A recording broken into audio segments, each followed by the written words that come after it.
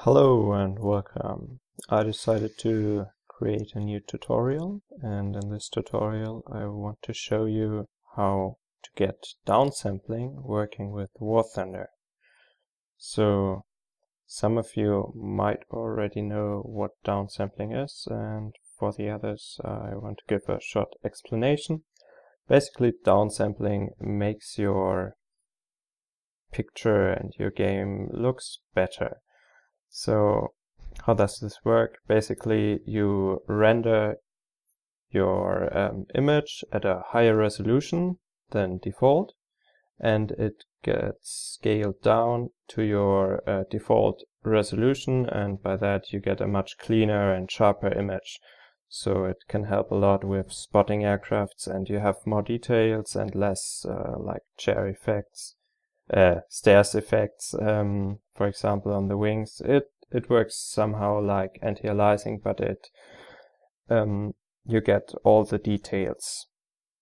So how does this work in War Thunder? Um, if you normally start your War Thunder launcher, you can just uh, select the resolutions which are available to you.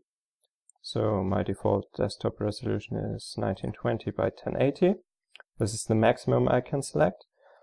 Um, but there's this nice tool which is called GEDO SATO tool, which is basically um, a, a short form for generic downsampling tool, um, which allows you to choose higher resolutions. And um, so the game gets rendered at a higher resolution and then scaled down for more details. So you can just download this um, from the internet. I will add a link to the description and just run it. It will install and then you get to this window and here you can first of course update since uh, this seems to be a new update. So now I got the tool running and as you can see we're up to date now. Um, first you want to edit the settings. Um, here you can add your preferable render resolutions, which is very important. So, for example, you want uh, different render resolutions from what is here, and um, I'll just add some I prepared. So those are the custom resolutions I have. This is like 25% more than default, 50% more than default, and this is 4K. So the next thing you want to check is um, the scaling type. Um, there are different methods and the best quality you get with the Lanczos method. Whereas this is for scaling down from your downsampled resolution. So, so for your from your higher resolution to get to your default resolution. Um, yes, you also want to check that you maintain the aspect ratio. And next thing you want to check are the settings for the mouse. Here you have to set um, some values to true, otherwise you can only move your mouse in a smaller part of the screen and you cannot click stuff.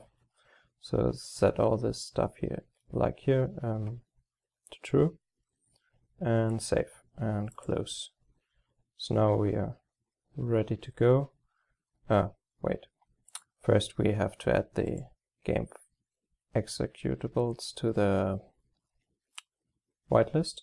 Um, those are the aces and the launcher. Just type aces and launcher here. Save it and close it. Um, next thing, just minimize it and start up War Thunder. So now as you can see, we have new resolutions available. Those are the new ones um, we added. So let's try to run the game in 4K. Also make sure you go into the advanced options and set the render to Windows XP, which is DirectX 10 I think, because uh, this is the only one um, which is working at the moment maybe you can try out the other ones later with a newer version of the tool. Um, right now we can just go and hit play.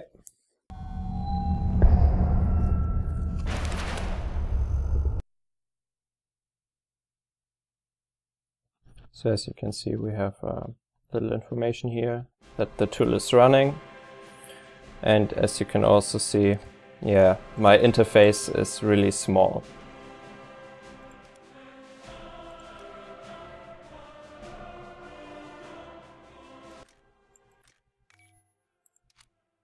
So you can change it here in the game options by going to interface and for big screens. Okay. Now this looks better. So as you can see, we're in the hangar and this is War Thunder in 4K. So maybe your computers are not good enough to run the game in 4K if there's a lot of stuff going on. So you might want to choose a lower resolution. Um, I am currently playing the game in um, not 4K, of course. My computer is not that good, but I'm using the 2880 by 1620 resolution, which is quite nice. It's 50% more higher resolution than default. Um, so it's uh, like, I think it's 2K, what you would call it 2K, and it's it's looking a lot better than uh, the default resolution and it's quite nice and you get enough FPS. So of course you have to restart every time. So this time resolution is 2880 by 1620 and it's still looking nice. I don't have the like stairs effect um, on the wings I have in 1920 by 1080. I know you can change it with anti-aliasing, but you lose uh, some quality and sharpening. And if you have um, just good enough hardware, you can just use um, downsampling to get rid of that. And it also makes um, it a little bit easier to spot the dots in simulator battles. And it makes the game look a lot nicer. So I hope you enjoyed this tutorial. I will add a lot of stuff into the description like a download link for the tool and my custom resolutions. So I hope you enjoyed and um, yeah, see you soon.